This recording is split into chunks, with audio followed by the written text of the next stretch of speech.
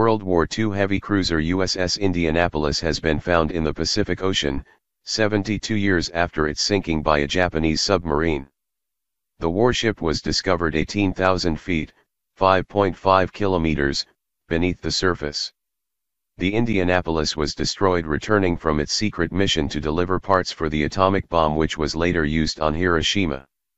Of the 1,196 men on board, just 316 were rescued, the largest loss of life at sea in the history of the U.S. Navy. Microsoft co-founder Paul Allen, who led the civilian search team, said the discovery was truly humbling. The USS Indianapolis was destroyed on July 30, 1945 when, somewhere in the Philippine Sea between Guam and Leyte, it was hit by a torpedo from a Japanese submarine. Between 800 to 900 escaped the sinking ship. But no distress call was ever received, and by the time the survivors were found by chance four days later, just 316 were left alive in the shark-infested waters. The ship's rapid sinking, in just 12 minutes, and the lack of a distress call meant the ship's location had long been a mystery. Mr. Allen's crew discovered the vessel on August 18, after new research from a naval historian pointed them to a specific region of the ocean where the warship had been sighted the night before its destruction.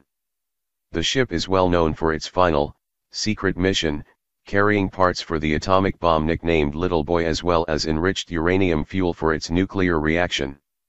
Those supplies were delivered to Tinian Island, an American base in the final year of the war which launched the world's first nuclear bombing. Four days later, the Indianapolis sank, less than a week before the nuclear bomb it helped to make destroyed Hiroshima. Along with the bomb named Fat Man dropped on Nagasaki, it forced the Japanese surrender and the end of World War II.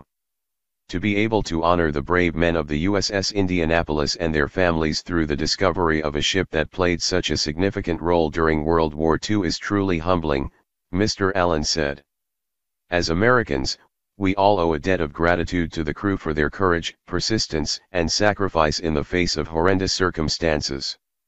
The USS Indianapolis remains the property of the U.S. Navy, the search team's statement said. It will now be considered a protected war memorial.